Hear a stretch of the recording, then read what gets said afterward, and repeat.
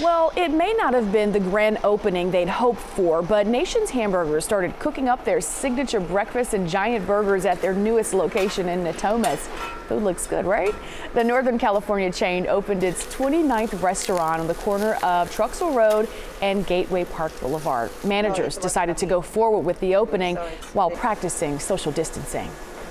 But, You know, if uh, coming in here to get a great burger makes people happy, uh, we're glad to do that. Of course, with five people at a time, but five people at a time will make people happy.